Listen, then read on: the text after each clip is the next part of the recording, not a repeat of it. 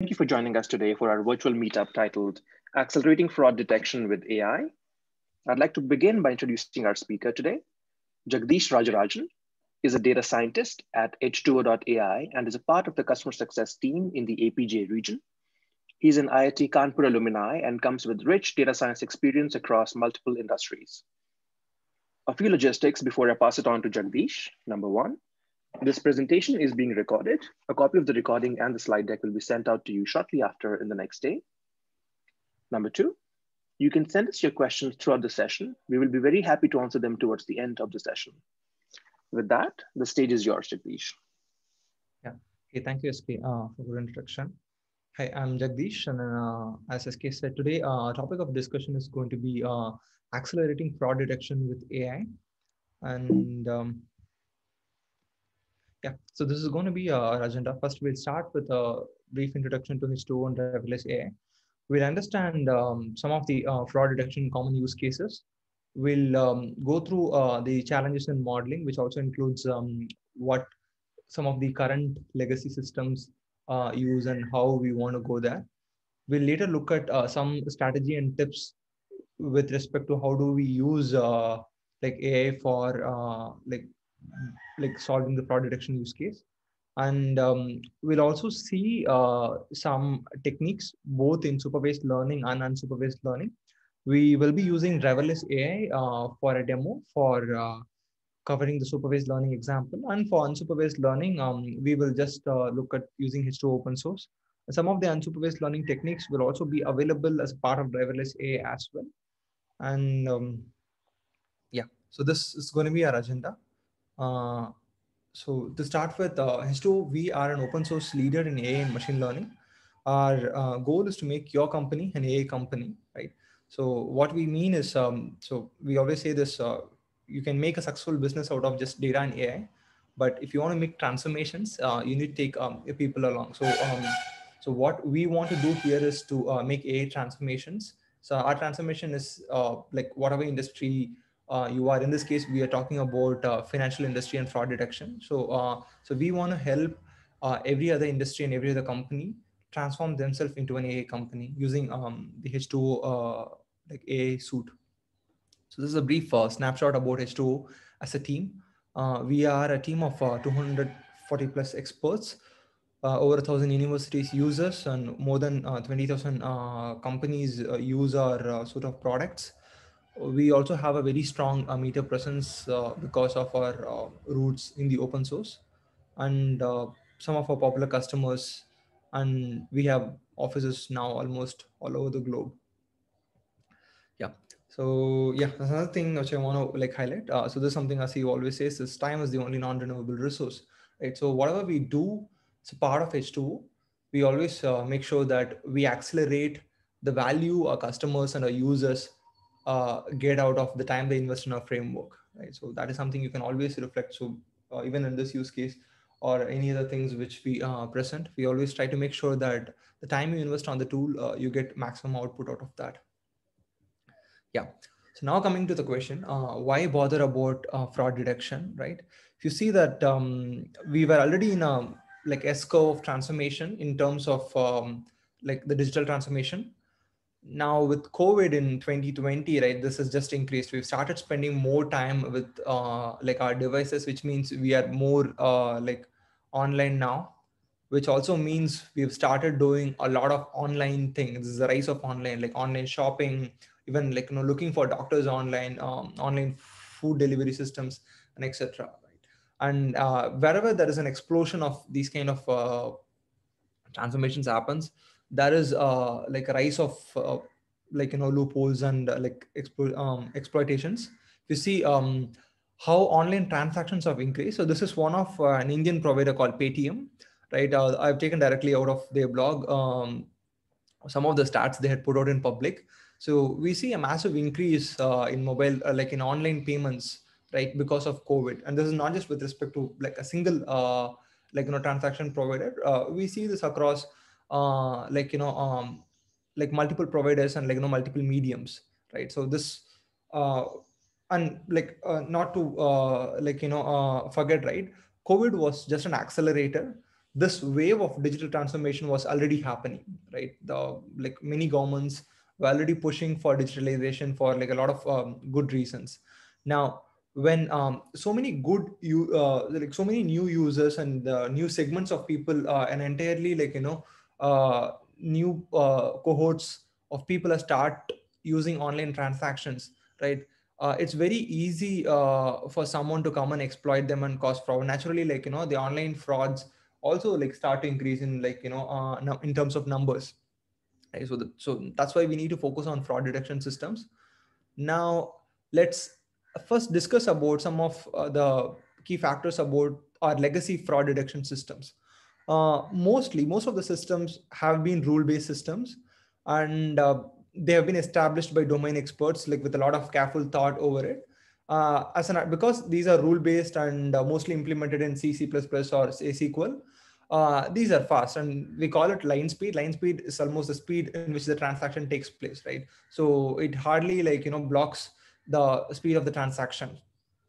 But one of the problem is uh, it has a high rate of false positives. So false positives is what we mean by, so when you mark something as a fraud, but the actual instance is not a fraud. And why we have high rates of fraud in the case of rule-based system? First, 100% um, accuracy is never possible because of rule-based systems, because we will just block it, right? So rule-based systems could mostly work like this. Let's say you know a specific place from which uh, fraud usually happens a lot so you would try to block that specific place but then it doesn't mean that you know everybody in that region is actually a fraudster. Like you like you naturally uh, are also blocking genuine um, transactions right? Which results in uh, like customer dissatisfaction and it also like you know uh, help uh, like causes businesses to lose some form of revenue.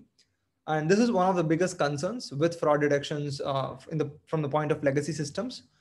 Now, other challenges include that um, things uh, keep evolve. So we need to always keep adding new rules. And uh, in this process, uh, it's almost uh, impossible to cover all possible scenarios. And uh, even if we cover, say, 80, 90% of the cases, it requires a lot of manual labor to keep adding new rules. So this is uh, the current phrase, uh, like you know, um, state when you look at some of the legacy systems, right? And this is what we want to change uh, for the good uh, using uh, AI systems. Like we want to have high, like low rates of false positives at the same time keeping a higher like rates for true positives. So yeah, now we look at um, some of the uh, popular use cases. I've used mostly movie references and uh, web series references so that it's easy for people to understand. So one form of uh, uh, like you know online fraud is identity theft, where if you see in this movie identity theft, right? So the person on the left is actually named uh, Sandy Bigelow Patterson. So the right side is actually a woman, but she, she um, because the name sounds like woman, so she uh, tried to steal this person's identity and created her own identity, the same name, right? And then uh, she is using uh, the original uh, protagonist identity uh, to make um, not just financial crimes but all sorts of crimes and uh, she tried to find some loopholes in the system and uh, because of those loopholes uh, she's capable she's capable of running away from the fraud. So this is a like popular fraud use case identity theft. And um, so that was more of a like hollywood example. Now let's coming back to india uh, this is a, actually a real story where um, it's a small village in India called Jamtara, where uh, people actually group together and uh, start doing OTP phishing. So they call people, mostly targeting senior citizens and other vulnerable population, and um, they uh, try to uh, pose as if they are from the bank or the uh, like credit card uh, provider, and then they try to get the OTP from the customer, from the end user, and then they use it for um, taking money out of their cards. Right. So this is OTP phishing. This is a slightly like larger scale fraud. Uh, we might have come across this again uh, using a based on a like recent web series again based out of uh, real life example of a Harshad Mehta scam in 1992. Back then it was around estimated to be around 4,000 crores. In today's value, easily around 20,000 crores.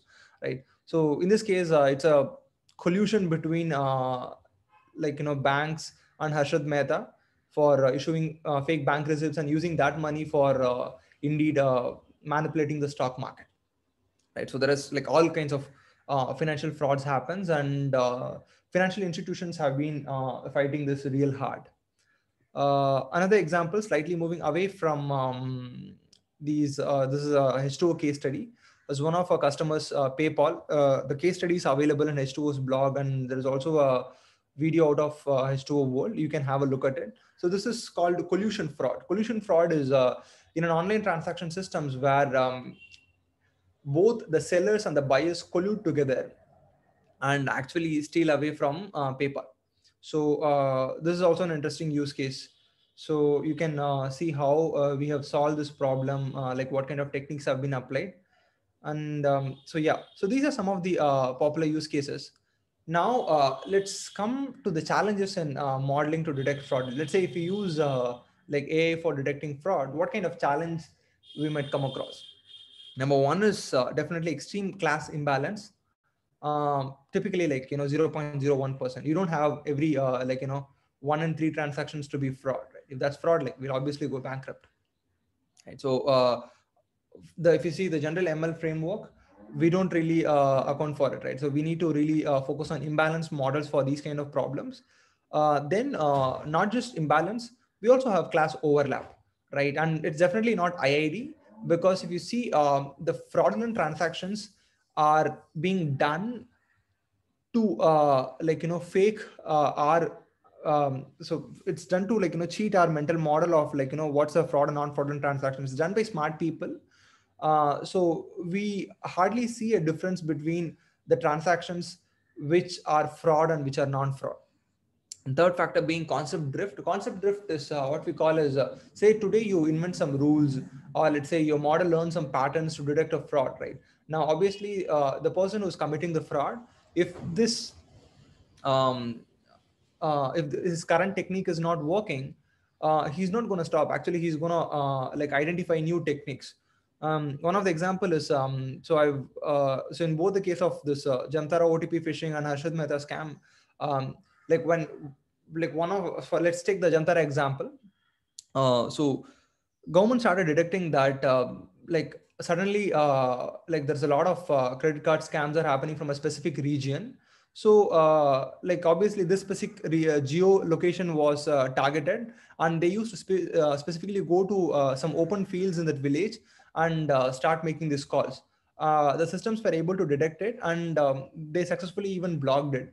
But the people didn't really stop uh, because the specific geolocation was identified and um, stopped. What they actually did is uh, they became smarter and um, they started going to uh, places like you know shopping malls in uh, Mumbai, Chennai, and Bangalore, where the case of such frauds happened like much less, right? So now you are targeting re, geolocations which have a good uh, like a high rating um, compared to uh, geolocations which have a very uh, bad rating right? So people always evolve over time. So our models also have to evolve. So same as the case was Harshad Mehta if you would have uh, read uh, uh, about his examples like so people always find like new ways of um, evolving like you know when you detect their current strategies right? And the fourth is dealing with real data. So um, like if you see the top three like it is possible to build a like you know uh, like uh, we can build powerful data science models uh, but at the same time we need to keep in mind uh, that it's a balance between speed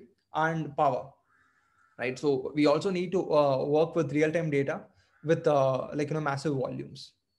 So these are some of the challenges in modeling fraud detection right? So so having said this thing right so now we'll uh, try to uh, understand like you know how do we go about uh, like solving a fraud detection problem so uh, now this is before even going to uh, machine learning this is more of a high level framework. So what i want to introduce is a framework called OODA. So this was proposed by john boyd. So john boyd was a pilot in the us uh, air force. To give a brief introduction about him so before the era of john boyd the aircrafts uh, were typically getting like you know more stronger more powerful and more bulkier right? Uh, so that was the uh, like phase in which it was going on. So what john boyd uh, proposed in the uh, aircraft was uh, so this led to the f series f-15s and those kind of aircrafts So it is not uh, more power which matters to win in an aerial fight combat. What needs what we need is fast transients, and for that we need to be able to move quicker. So what does he mean by moving quicker? Is uh, let's say uh, how human beings typically take um, actions. So we do it in the form of OODA. So we observe the environment we have, we orient. So we all have a like you know conscious and subconscious understanding of uh, what the environment uh, we have around us. And then we decide uh, given our observation and our orientation what is the uh, uh, like action we need to take and then we perform that action. So this is a very simple like framework. But this has been like you know widely used in a lot of theories of john boyd and successfully like made huge transformations in the form of aerial um, combat so uh, like what John Boyd uh, really says is uh, in order to win, right, you need to be able to make fast transients. And when you say fast transients, uh, uh, you need to be able to get inside your um, adversary's OODA loop. And um, let me take some small scenarios and uh, walk you through like, you know, what this really means. Right. So this is a normal OODA loop. Let's say you have observe, um, decide and act. Orient we have put in the middle because orientation is something which constantly keep happening, right? let's say you have a sports match, uh, right, cricket or football, you would see that the players are constantly doing all of them. The players are observing. Uh, the players are having an orientation of like, you know, what is happening uh, in the field. Uh, they decide what needs to be done and they act, right? Let's say you watch the sports match, right? In this case, uh, you're not the one who's participating. So the action is out of the thing. So for you, it looks like more like a simulation.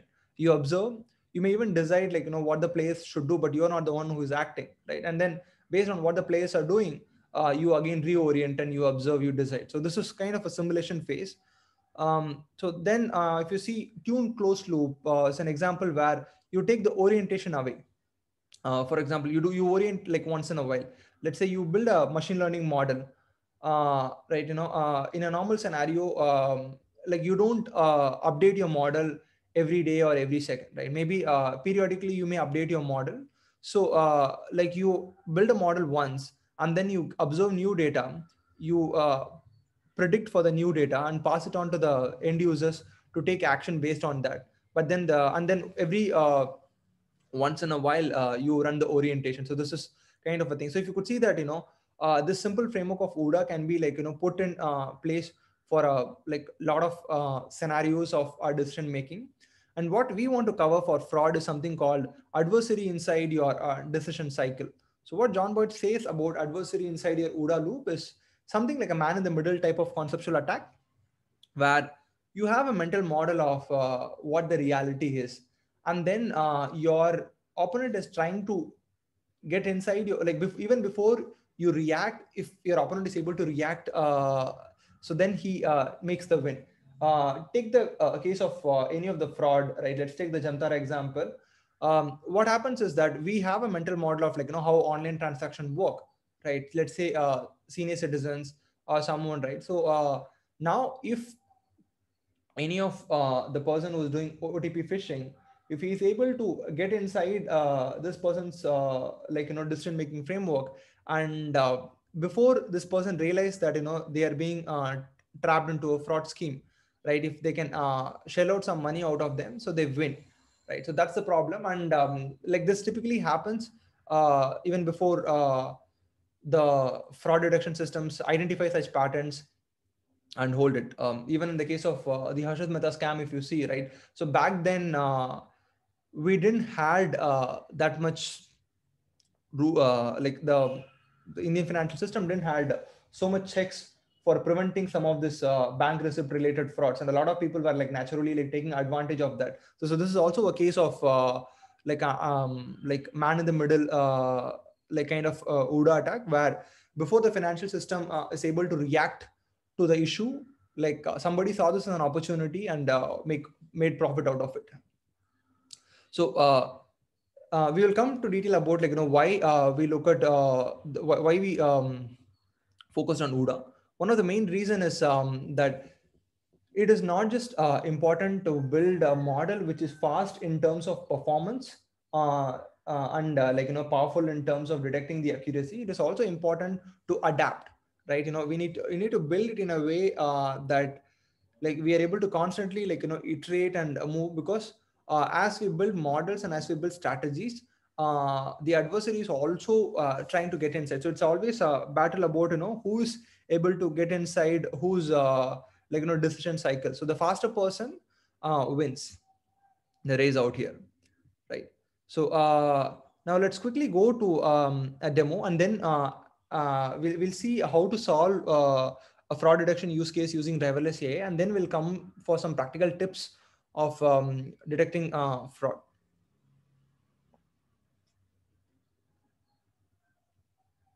Yeah. So here I have driverless AI uh, open uh, for us. So for the people who don't know much about driverless AI, I'll start with the basics.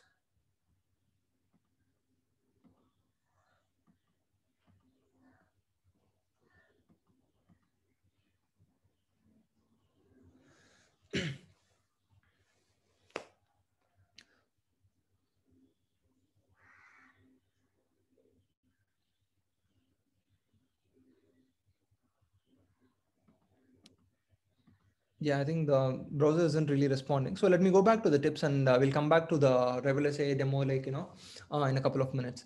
Uh, let's say you want to detect fraud detection using uh, data science. What are some of the things which you can keep in mind, right? Uh, one is uh, like whether you want to go with compact features versus comprehensive features.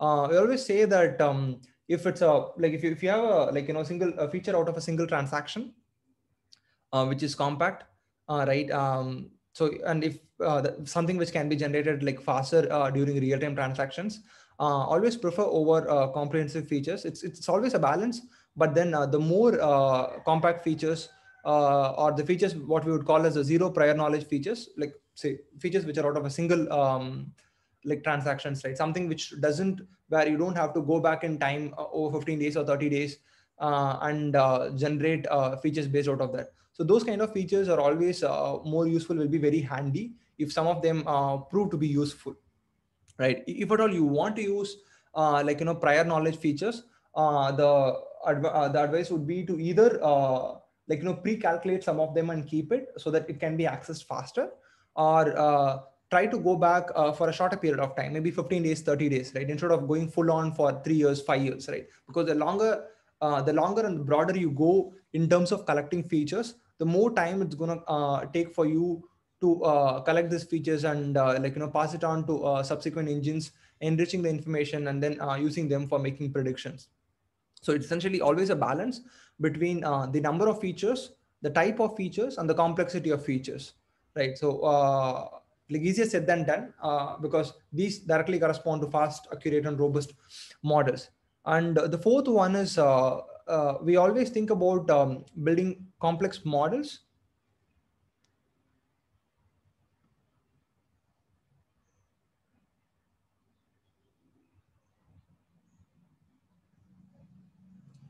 Uh, so yeah, the tool is uh, driverless AI. Uh, so we'll, there was a question on uh, what tool is that? yeah elaborate on um, compact and comprehensive features yeah sure i'll uh, quickly do that so this is uh, driverless AI. We'll come back uh, like slightly on this. So let me go back and um, focus on the demo. Sorry, the tips now. And uh, once we finish this, we'll again um, go back on this. So uh, if uh, GLM works, then use it. Uh, so this is again one, one of the simpler models. So we always are saying that we always uh, think about uh, building a complex model. Sometimes what would be useful is uh, you build uh, simple models, uh, maybe build multiple simple models for multiple segments of the transactions. Say that, let's say the credit card samples, right? we typically have different um, clusters of transactions. There are some high, really high value transactions, and there are some really low value transaction, and then transactions in the middle, right? the behavior pattern is going to be different, right? And we can have uh, segments based on geolocations. Uh, we can have segments based on like almost any uh, like you know uh, demographic factors uh, available with us, right? So when you build like you know a lot of simple models and use uh, compare those models and see which model is working better. So in a lot of real life scenarios, these models are more interpretable. They are more effective and uh, they also perform uh, like really well uh, like with respect to our benchmarks like be it the speed or accuracy or uh, the robustness of generalizing to uh, more use cases. So these are some of the stuffs. And uh, yeah this is what i meant like models as commodity that um, instead of just building one complex model and using it everywhere uh, we can treat it as a commodity. Because in today's scenario, right, I will, we will later look at how driverless can uh, make like, you know, multiple models. Um, that's to say like models as a commodity. Uh, you should be able to like, you know, build uh, in today's scenario with so much of tools available. Uh, easily you can build so much of models and see uh, like, you know, which model is performing better and then use it.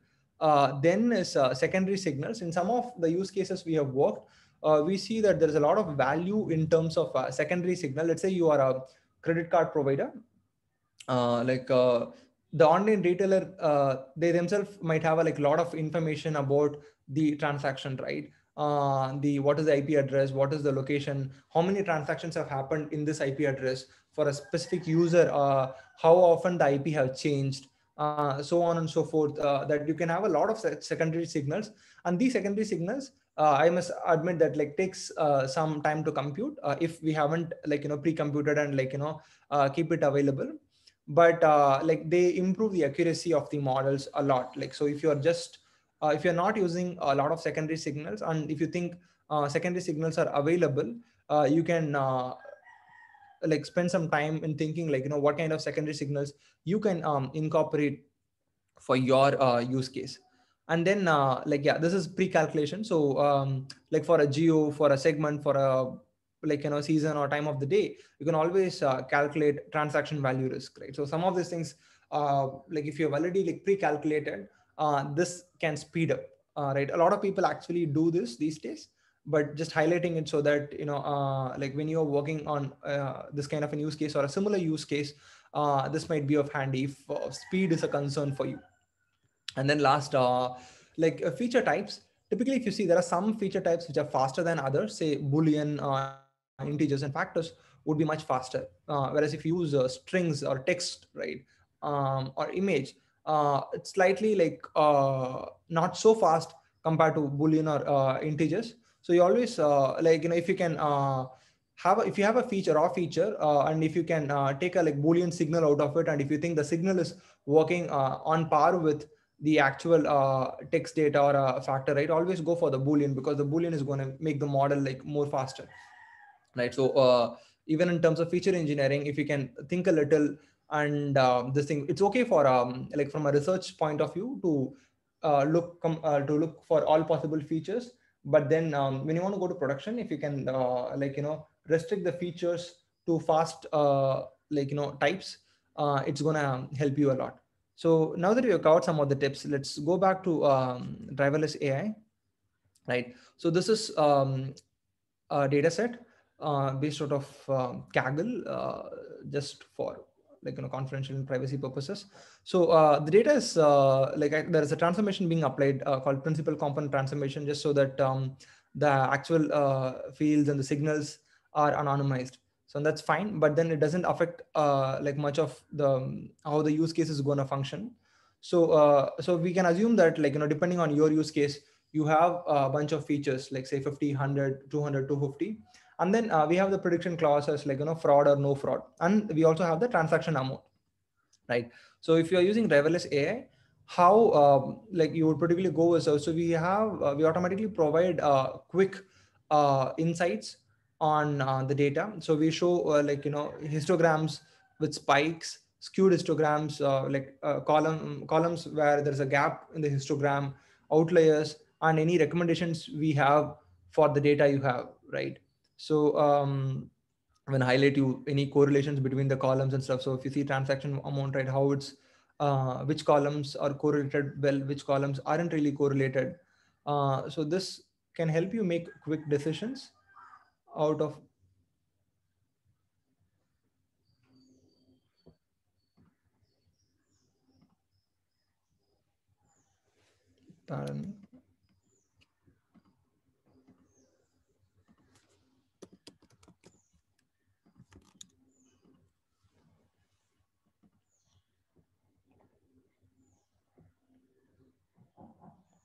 Yeah. So the auto insight, uh, the auto visualization uh, technically helps you to uh, understand the data faster. So let me uh, open some of these plots. So you see that you know which columns have uh, spikes in them, uh, which columns have outliers, right? And um, how do you want to go about it? So if you are like you know.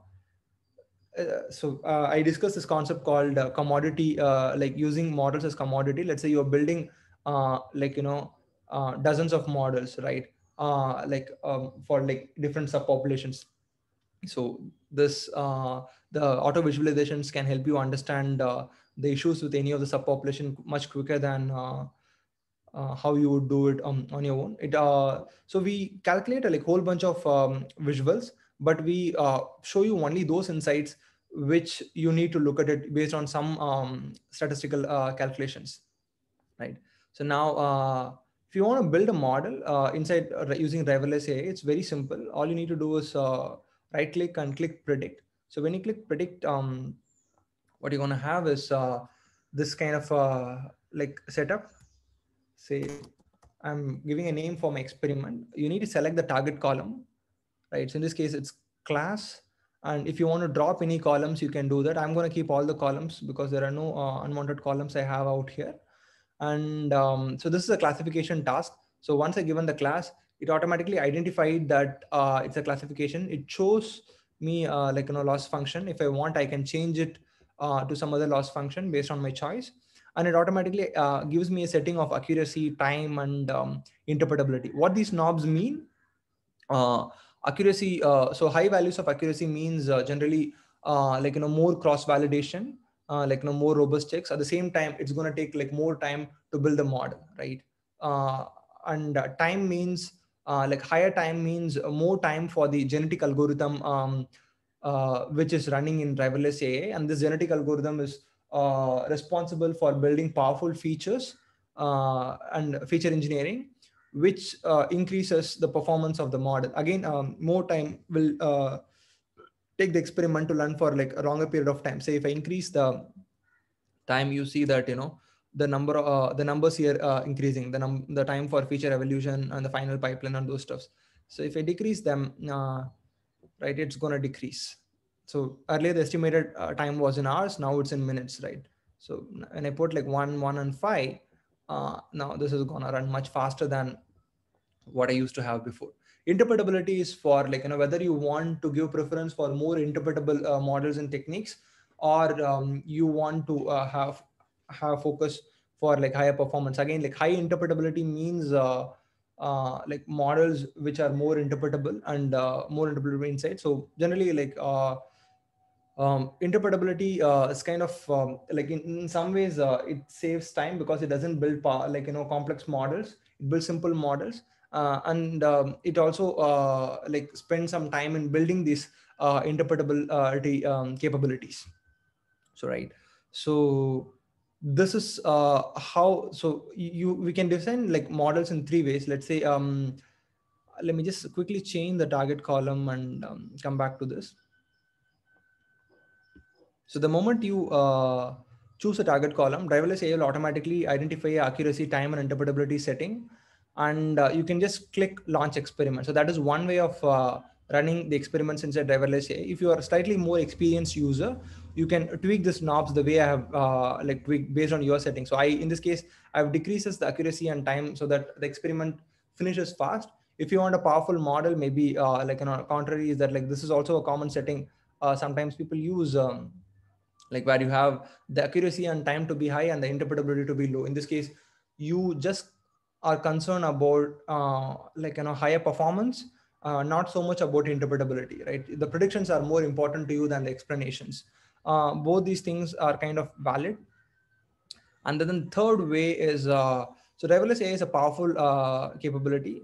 Uh, we ex expose almost everything to you in the form of expert settings right? You can pretty much control all the settings of the experiment what kind of um, models you want to put. So we have models starting from like, you know, GLMs and rule fit models to like, you know, PyTorch and TensorFlow models.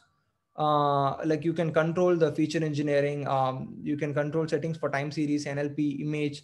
Uh, we also have the section called um, recipes, uh, wherein um, in addition to the like you know transformers which we have and uh, transformers uh, models and uh, scorers which we have you can bring uh, your own uh, set of model scorers and we also have an official uh, repository of transformers so we have let's say if you go to transformers right so for each of this settings right we have like a lot of transformers recipes available like be transformers models or scorers right? So, so using expert settings, you can pretty much control everything um, inside. So if you are really a super user, uh, you can uh, go back to this thing right now coming again uh, uh, to repeat back what I just said, uh, there are three ways in which you can run experiment. One is just uh, upload the data, select the target class, drop any columns if you want. This is just like how you do in Excel and then click launch experiment. Second is you can play with the knobs and then um, click uh, launch experiment. In this case, uh, based on your needs of accuracy, time, and interpretability, custom experiment is gonna run, right? And you will see in the left side panel, every time you tweak these knobs, it will tell you like what it's gonna do uh, in terms of um, experiments, right? Then uh, you either click experiment or you click uh, leaderboard. If you click experiment, what it's gonna do is um, it's gonna create an experiment for you. So something like this, what I have already uh, created. So it took like roughly an hour uh, because I had a like, you know, high accuracy and time settings, right? And, but it gave a pretty good model. If you see the log loss, right, it's almost uh, zero, uh, right? And then uh, second is uh, you can click the leaderboard option, which you had. So when you click a leaderboard, what the leaderboard actually does is create a project for you and it will create a dozen model for you like you know different settings we'll start with the simplest models if you see it's like you know it's a 1 1 10 and it has very few features and it's a simple decision tree and then uh, towards the end we have uh, like uh, high accuracy uh, time settings with uh, tensorflow models are in place. So we naturally move from like you know uh, like simple models to complex models. Uh, for each of the models you can see the performance on uh, what it had done what is the um, yeah so this is the simplest model you can have. It literally had only one feature and it built a decision tree out of it right? So uh, so it's very easy to understand uh, how different models work in um, driverless AI and try to go about it so yeah now that we have covered that so let's go back to uh, our experiment and build a custom model for us right so again i'm um, gonna repeat the steps so that it reiterates to some of the users. So I'm selecting the target class. Uh, again, uh, if you want, you can drop any columns. Uh, if you have a test data set, you can provide. In this case, uh, like I didn't really uh, generate a test data set, so I'm not going to give a test data set. But if you give a test data set, it's going to calculate the metrics out of you and give it to you automatically. And because it's an imbalanced problem, so what I'm going to do is I'm going to my expert settings and search for um, imbalanced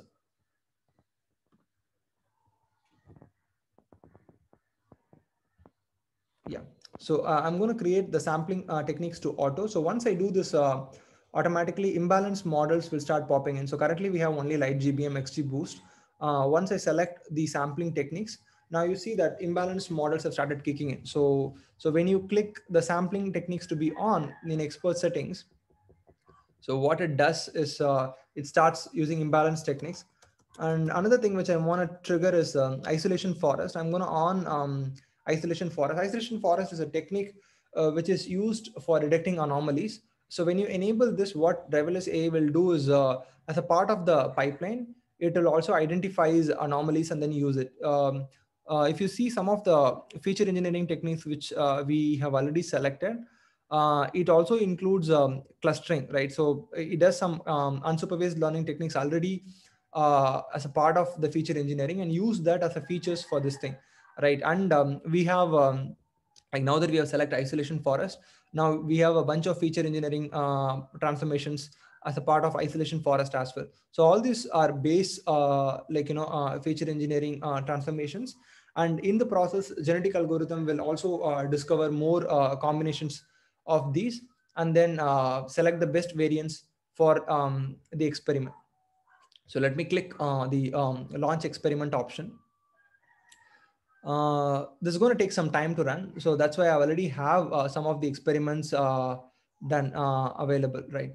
Say, um, So this is the complete experiment with the same settings available.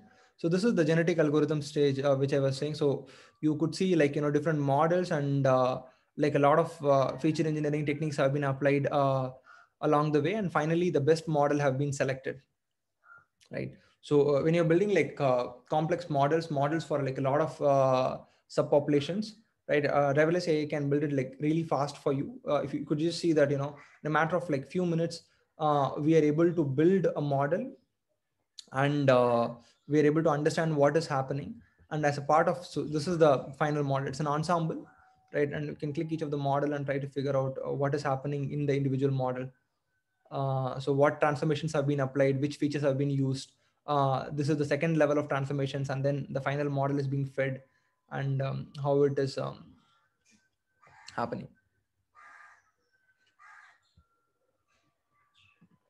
So yeah. So that's it uh, with respect to this thing. In the we'll handle um, any questions in the towards the end of the session.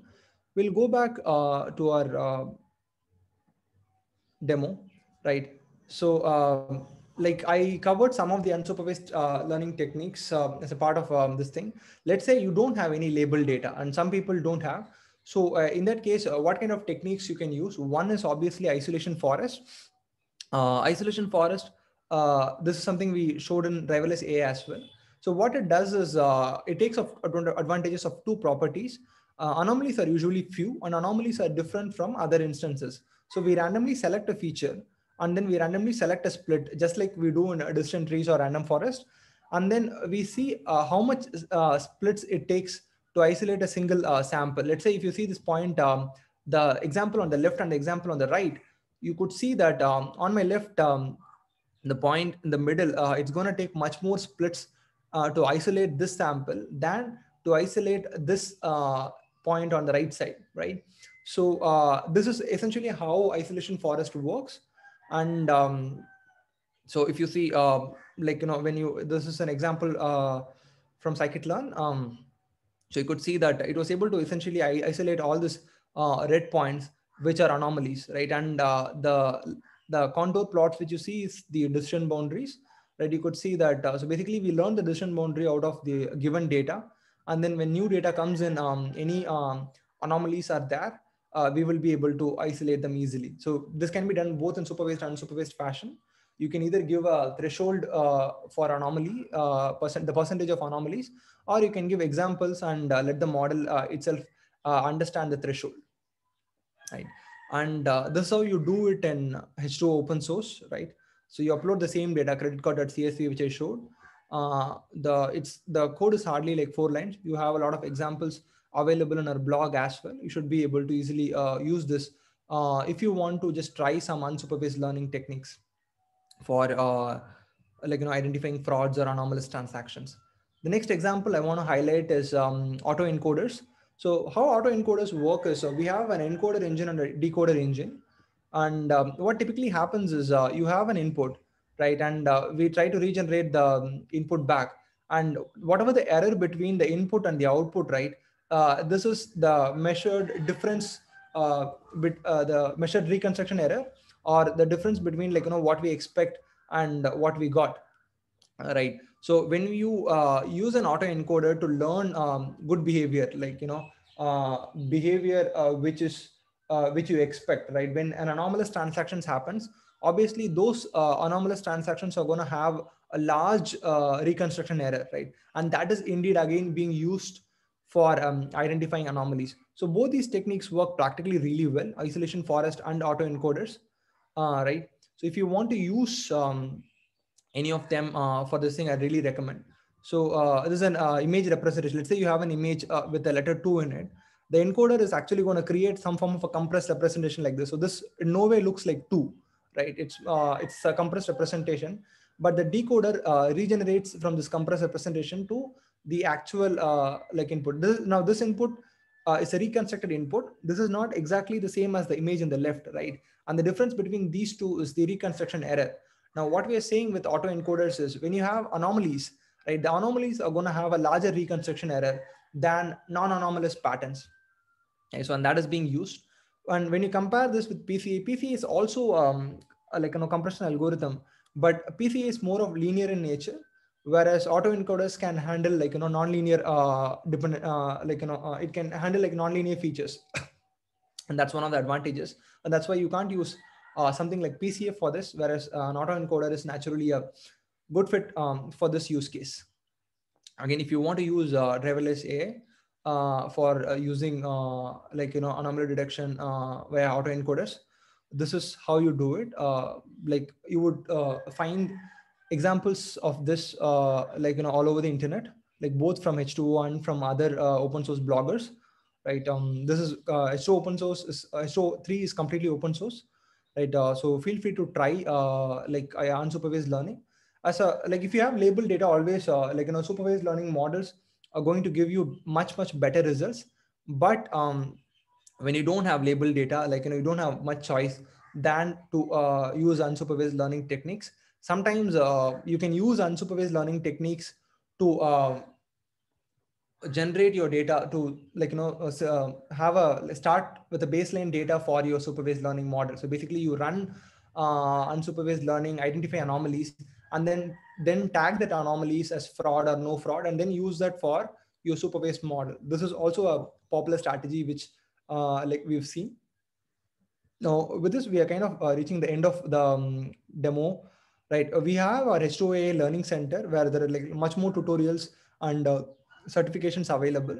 Uh, we also have H2O.AI Aquarium. So driverless AI is actually um, like an enterprise uh, solution. But if you want to try driverless AI for uh, free, uh, H2O.AI Aquarium uh, gives you uh, a free uh, license um, for uh, like for a short period of time uh, to try out uh, like the driverless AI models uh, on uh, any data set of your choice. Yeah. Any um, questions? Awesome. Thank you, Jagdish. Um, we have a few questions in the chat window, a few in the Q&A window. Let's begin by taking what we can answer in the time we have. Um, how much or how, how little data is required to enable the AI to predict behaviors um, and differentiate between true transactions and fraudulent transactions? Uh, there is generally no limit. I mean, the more is always the better. But uh, at least, you know, uh, like say few, uh, like uh, fraud is a big use case, right? Uh, like uh, I would say, so let's say general, uh, like for driverless AI, at least uh, like, you know, uh, like a thousand plus rows should generally be fine. But then if you're looking of actual, like, you know, real-time fraud use case, right? We are talking about like, you know, millions of transactions, right? So uh, like, you know, I would say um, at least say uh, like 100K uh, like samples would be a bare minimal uh, when you are thinking about an actual use case right? Uh, so like we think of like large volumes but to build a model alone i think uh, even 1000 samples should be fine for driverless ai great. Thank you. How does h2o help to detect drift? Uh, so we have uh, multiple uh, engines check for it so uh, a very holistic solution is we have something called mlops uh, which will give you like you know everything about uh, model drift, uh, performance drift, and etc. As a part of running the models, uh, we check for like you know data leakage. Uh, we check for like you know uh, data drift over time. so there are a bunch of checks in the part of the experiment section itself in driverless AI. when you click an experiment in driverless AI, under the insights section on, or notification section, you will see these checks. Right now, we do check for data leakage.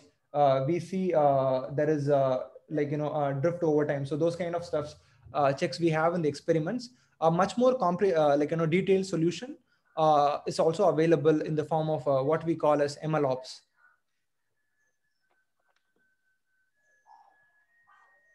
Thank you. There's a question here that said, can we try this on H2O open source instead of driverless AI? Yes, uh, you should be able to try out H2O open source as well. So I didn't really cover the supervised learning uh, aspect of H2O uh, open source because I wanted to cover both. Uh, but technically, yes. But if you use um, um, like H2O open source, you need to code some of the things by yourself, which driverless AI does it on your own. Driverless AI is more of, uh, it has everything H2O open source has, uh, plus a bunch of things more. But if you want to do it uh, so build a supervised uh, engine as well using H2O open source, uh, yeah, definitely you can do it. Great. Will the recording and slides be shared? Yes, they'll be sent out to you. Uh, can we get the source code of transformations used after creating a model?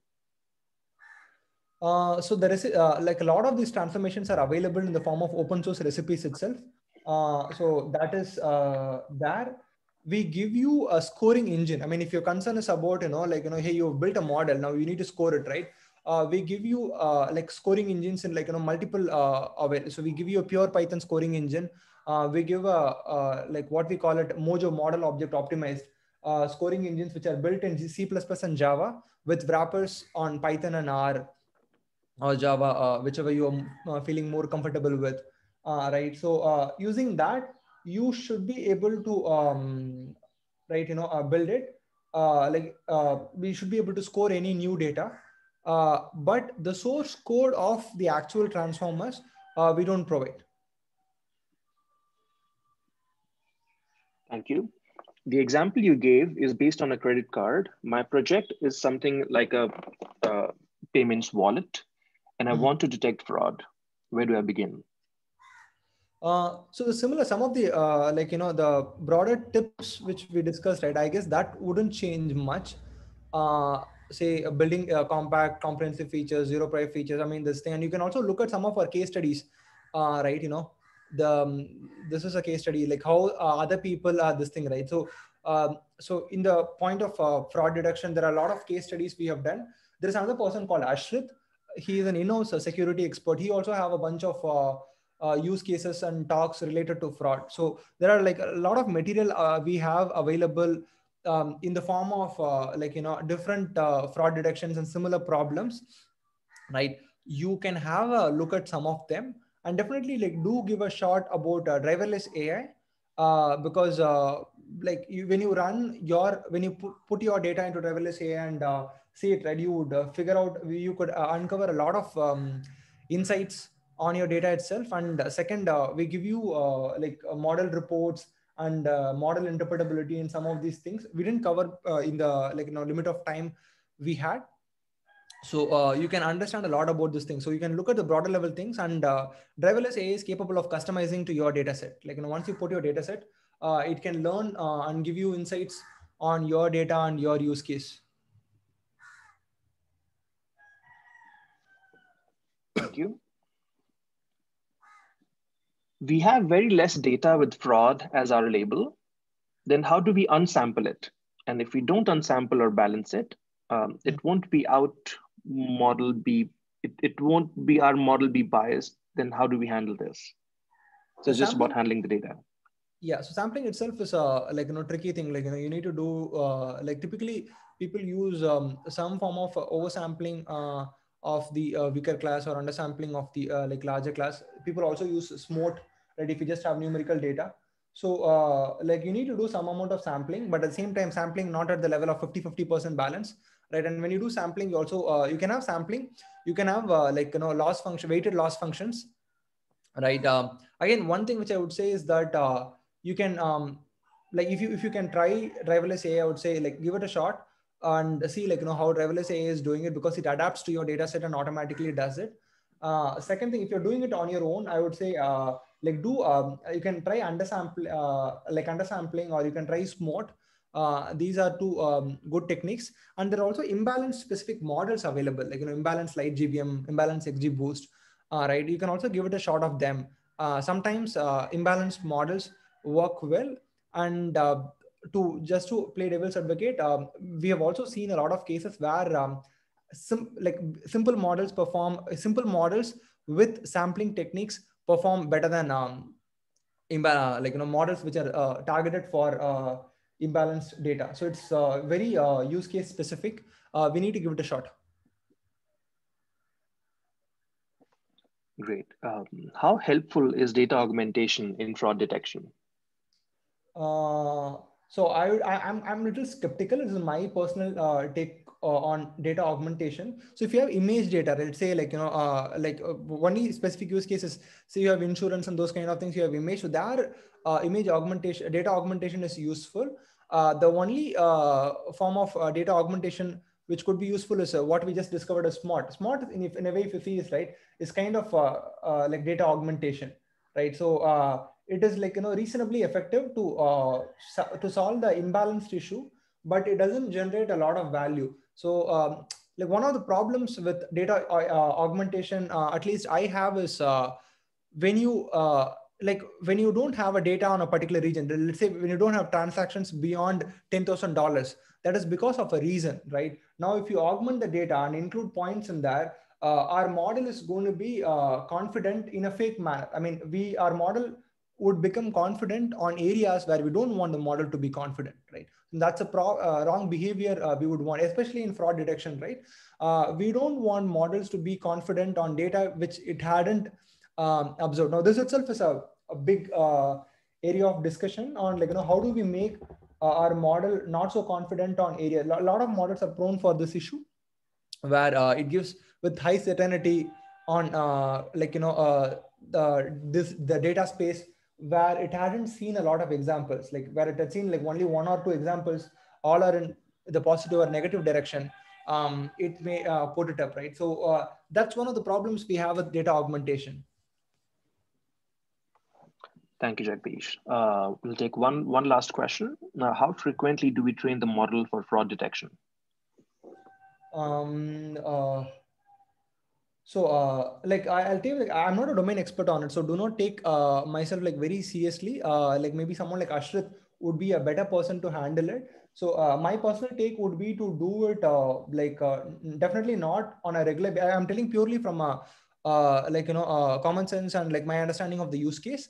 So when you look at the space, right? So if you retrain every like day or like like too frequently, we need to keep in mind of data drift and some of the other challenges. Like so, uh, even a constantly updating model is also a point of headache for us, right? So updating it like you know once in 15 days or once in a month is a realistic window for us.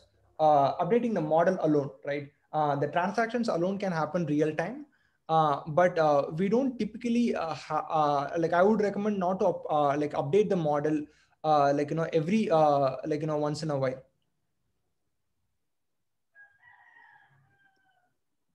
Awesome. Thank you, Jagdish. With that, we're at the end of our presentation.